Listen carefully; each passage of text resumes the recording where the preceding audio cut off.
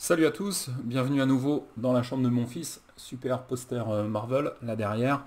Euh, pièce où j'aime bien travailler pendant euh, les jours d'hiver. En tout cas aujourd'hui je vais partager avec vous les questions qui reviennent souvent dans mes coachings. Alors vous le savez, je coach des infopreneurs en tête à tête. J'ai souvent des questions qui me reviennent et j'imagine que si mes clients coaching se posent ces questions, vous êtes nombreux dans mon audience à vous les poser également. Donc on y va. Question numéro 1, André, quelle est la meilleure thématique? Voilà, vous hésitez entre plusieurs thématiques et vous voudriez mon avis pour savoir laquelle va vous rapporter le plus d'argent. Alors, pour caricaturer un peu, voilà, vous hésitez euh, immobilier, photo, euh, cours de langue, voilà, parce que vous aimez bien la photo, euh, vous parlez super bien anglais, et puis vous avez aussi un appart. Alors vers quelle thématique il faudrait aller, etc. Donc considérons que vous avez de l'expertise dans chacune de ces thématiques, laquelle va rapporter le plus? Eh bien c'est quasiment impossible de savoir quelle thématique rapporte le plus, parce que finalement, ce qui va faire votre succès, c'est vous. Alors je vous explique. Prenez par exemple la thématique du développement personnel. Euh, sur le marché anglophone, euh, je crois que quelqu'un comme Tony Robbins, il a un patrimoine supérieur à 400 millions de dollars. Donc on pourrait se dire, le pape du développement personnel, il est vraiment très riche, il gagne vraiment beaucoup d'argent, donc c'est une super thématique. Et c'est vrai qu'il y a beaucoup de gens dans le développement personnel en anglophone ou en francophone qui gagnent beaucoup d'argent. Je crois que David Laroche, ça doit être un des plus gros en francophone et il doit avoir un chiffre d'affaires euh, de plusieurs millions par an. Mais à côté de ça, vous avez aussi beaucoup de blogueurs en développement personnel qui n'arrivent même pas à avoir 150 euh, inscrits et qui gagnent des cacahuètes. Donc, en fait, c'est pas qu'il y ait des thématiques meilleures que d'autres dans l'absolu, c'est surtout ce que vous allez pouvoir y construire. Alors, c'est là que ça devient un petit peu plus compliqué, c'est qu'il y a effectivement des thématiques qui sont plus rentables que d'autres. Moi, je le sais parce que je suis sur deux thématiques. Je suis sur le marketing internet avec Traffic Mania et j'ai toujours aussi mon petit blog sur le tir sportif dont je vous parle de temps en temps, qui me fait un petit revenu complémentaire qui me prend quelques dizaines de minutes par semaine. Il est clair que je ne pense pas pouvoir arriver à faire avec le tir sportif le chiffre d'affaires que je fais avec Traffic Mania. Euh, je crois que le maximum que j'ai dû faire sur le tir sportif, c'est 6 ou 7 000 euros euh, en un mois de vente. Euh, si je faisais 6 ou 7 000 euros en un mois de vente avec Traffic Mania, je considérais que c'est un très très mauvais mois. Donc, oui, dans l'absolu, il y a des thématiques qui sont meilleures que d'autres, mais quand vous vous attaquez à des grosses thématiques, immobilier, développement perso, marketing internet, euh, langue, photographie. Euh, c'est des niches dans lesquelles il y a des gens qui gagnent beaucoup, beaucoup, beaucoup d'argent. Mais ce que vous allez y faire, ce que vous allez y construire va faire la différence. Si je prends l'exemple des langues, j'ai un copain qui est dans la thématique des langues et qui donne des cours d'anglais. Il fait ça depuis des années et il fait ça avec énormément de professionnalisme. Il le fait un peu à la mode Jeff Bezos, c'est-à-dire que euh, l'argent qu'il gagne, il le réinvestit beaucoup, beaucoup dans son entreprise plutôt que de se payer lui-même, parce qu'il a une vision très très long terme. Jeff Bezos avec Amazon, il faisait pareil, hein. il écrivait des lettres aux actionnaires euh, il y a quelques années dans lesquelles il disait euh, comptez pas sur des dividendes énormes, comptez pas sur une flambée de l'action, parce que l'argent, on le réinvestit dans la boîte. Quand Jeff Bezos faisait ça au début d'Amazon, il était énormément critiqué, mais on voit aujourd'hui où ça l'a amené. Et Amazon aujourd'hui, c'est vraiment une des valeurs stars de la bourse, et, et Jeff Bezos, c'est un des hommes les plus riches du monde. Eh ben, si vous prenez la thématique de l'apprentissage d'anglais, il y a plein de gens qui essayent de faire de l'anglais euh, et d'apprendre l'anglais et qui sont profs d'anglais et qui sont bons, mais ils ne travaillent pas aussi dur que mon pote. Euh, ils n'ont pas son acharnement, sa patience. Ils n'ont pas créé les centaines et les centaines de vidéos. Ils n'ont pas créé des cours ultra complets. Ils n'ont pas assuré le support client. Euh, ils ne sont pas levés le dimanche matin pour répondre aux emails. Euh, ils n'ont pas pris le téléphone pour essayer de convaincre telle personne d'acheter telle formation parce qu'elle avait une question. Donc la charge de travail qu'il a mis dans sa thématique lui a permis de construire un gros business qui est bien plus gros que la plupart de ses concurrents. Et dans le développement personnel, c'est la même chose. Euh, moi j'ai un client coaching qui est dans le développement personnel, il marche bien, mais il bosse, il bosse dur. Et il crée des formations, et il crée des contenus, et il est présent pour, ses, euh, pour son audience.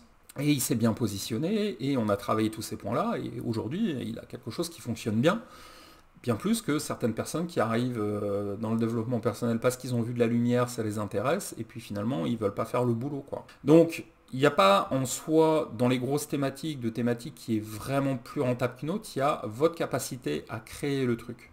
Et c'est ça qui est super intéressant. C'est comme si euh, euh, euh, vous vouliez vous lancer dans la création de logiciels et vous me disiez où est-ce que ça rapporte le plus d'argent? Est-ce qu'il vaut mieux faire un moteur de recherche comme Google ou est-ce qu'il vaut mieux faire des logiciels comme Microsoft? En fait, c'est deux sociétés qui sont dans l'informatique, qui sont sur des métiers différents, mais qui ont créé des business qui sont énormes, chacune de leur côté, en étant bons. Voilà le message que je peux vous donner. Bien sûr, je suis capable de vous guider en, vous disant que cette petite thématique rapporte certainement moins qu'une autre, que vous n'êtes pas bien positionné et que si vous voulez que ça marche, il faut qu'on fasse le travail de positionnement ensemble. Mais après, c'est surtout lié à la capacité de travail euh, et de ténacité des infopreneurs. Autre question qu'on me pose souvent, les prix. André, à quel prix je peux vendre ma formation? Et en fait, quand les prix arrivent dans l'équation, c'est super cool parce que ça veut dire qu'on a une audience et puis on a créé une formation. Donc voilà, il n'y a plus qu'à envoyer quelques emails et euh, on espère faire les ventes. Le prix, c'est toujours une question euh, compliquée parce qu'en fait, on ne peut jamais vraiment savoir. On n'a pas le droit de faire de split test sur les prix. Donc vous n'avez pas le droit de faire euh, le même produit à 47 euros euh, à la moitié de votre liste et le même produit à 100 euros à la moitié de votre liste et d'essayer de voir lequel va rapporter le plus. Ça, c'est pas légal. Donc finalement, le prix que vous avez lancé, vous aurez toujours le doute de vous dire ah si j'avais mis plus cher ou si j'avais mis moins cher, est-ce que j'aurais gagné plus? Donc on ne peut jamais savoir. Moi, ce que je sais, c'est que déjà, il ne faut pas être déconnant. Euh, la règle numéro 1, il ne faut pas être déconnant. Euh, c'est-à-dire que il y a des thématiques dans lesquelles on peut vendre cher parce qu'il y a une idée de retour sur investissement. Si vous vous adressez à des professionnels, vous pouvez vendre cher. Mais si vous vous adressez à des gens qui veulent juste progresser au ping-pong, euh, on est dans une thématique loisir, on peut vendre des formations sur le ping-pong, mais vous n'allez pas vendre des cours à 1000 euros sur le ping-pong, à moins que vous soyez un champion olympique et que vous fassiez du coaching. Mais si c'est juste un cours en ligne, je ne pense pas que vous puissiez vendre au-dessus de 100 euros facilement dans le domaine du ping-pong. 100, 150 euros peut-être grand max. Pourquoi? Ben Parce qu'après les gens ils font des arbitrages. Ils vont se dire ok j'aime bien le ping-pong mais de là mettre 1000 euros c'est compliqué. Alors que moi, sur Traffic Mania, je peux vendre des formations à 1000 euros parce qu'il y a une idée de retour sur investissement. Donc déjà, réfléchissez à la cohérence par rapport à votre thématique. Et moi, le deuxième conseil que je vais vous donner, c'est si vous débutez, que vous n'êtes pas trop connu, commencez toujours avec des petits prix. Pourquoi? Parce qu'en ayant des petits prix, vous aurez déjà la satisfaction de faire des ventes. Et en fait, vous serez plus content en vendant 20 formations à 20 euros, ça fait 400 euros, qu'en en vendant deux à 200. Vous serez plus content d'avoir fait 20 ventes que 2 ventes. Ça, c'est déjà pour le, plaisir d'avancer. Ensuite, vous limitez le risque, parce que quand vous êtes à 200 euros, bah, finalement, il suffit que dans votre audience, je sais pas, il y ait des mauvaises nouvelles économiques et on peut passer de 2 ventes à une vente. Alors qu'en vendant à 20 euros, euh, on va peut-être passer de 20 ventes à 18 ventes. Donc finalement, on est moins exposé avec des petits prix. Et puis surtout, vous amorcez la pompe, vous avez la satisfaction d'avancer. Et ce qu'il faut vous dire, c'est que le coup d'après, vous pourrez vendre plus cher. Si vous voyez qu'à 20 euros, vous avez cartonné, rien ne vous empêche plus tard de recréer une autre formation ou de rajouter un bonus et d'essayer de mettre cette formation à 50 euros ou à 30 euros et de voir ce que ça donne. Donc, c'est plus facile d'augmenter les prix que de les baisser. Si vous n'avez pas réussi à vendre à 200 et qu'ensuite vous fracassez vos prix, vous envoyez tout de suite euh, à votre thématique euh, bah, l'image d'une formation qui ne se vend pas bien. Et ça, c'est pas bon pour vous. Donc commencez petit, voyez ce que ça donne et adaptez-vous. C'est beaucoup plus facile et moins risqué et encourageant de le faire dans ce sens-là.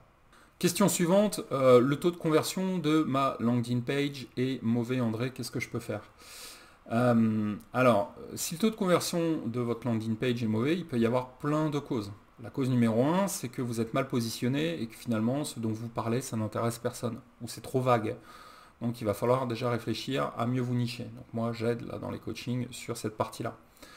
Euh, autre possibilité, le sujet de votre ligne magnet, donc de votre bonus, hein, la petite vidéo, le petit guide PDF que vous allez offrir, n'est pas adapté, ça n'intéresse pas les gens. Et eh ben là aussi, je vais vous guider et on va travailler ensemble sur euh, euh, quelque chose qui est beaucoup plus attractif. Donc les gens aiment bien les fiches mémo, les gens aiment bien les mini-formations, les gens aiment un produit utile qui va les aider à résoudre un problème concret. Ça, c'est des mots-clés. Utile et concret, c'est des mots-clés dans euh, cette histoire de taux de conversion. Et puis, troisième élément, votre page est mal fichue et la façon dont vous l'avez construite fait que c'est impossible que vous ayez un beau taux de conversion parce que vous avez mis trop d'informations, trop de texte, le bonus il est planqué tout en bas, etc. Moi je vous invite à aller jeter un coup d'œil sur trafficmania.com et ma euh, nouvelle landing page, je l'ai refaite il y a peu de temps, elle donne des résultats en matière de taux de conversion qui sont extrêmement intéressants et vous pouvez vous inspirer de cette structure. D'ailleurs, la structure que j'utilise, c'est pas moi qui l'ai créée, je l'avais récupérée sur un blog qui s'appelait Backlinko et qui utilisait cette structure de page avant que le blog ne soit revendu et euh, la page modifiée.